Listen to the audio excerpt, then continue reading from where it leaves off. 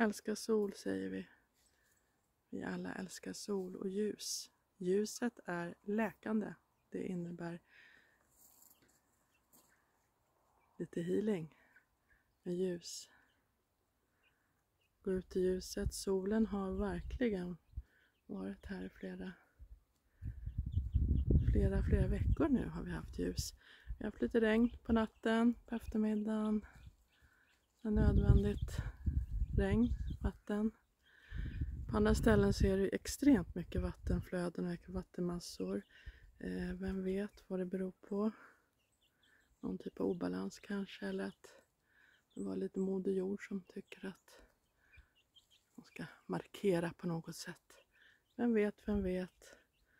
Vi alla ser på livet med lite olika, ja, lite olika syn på livet bara. Så är det bara. Hälsningar från oss och hönsen denna söndag. Hejdå!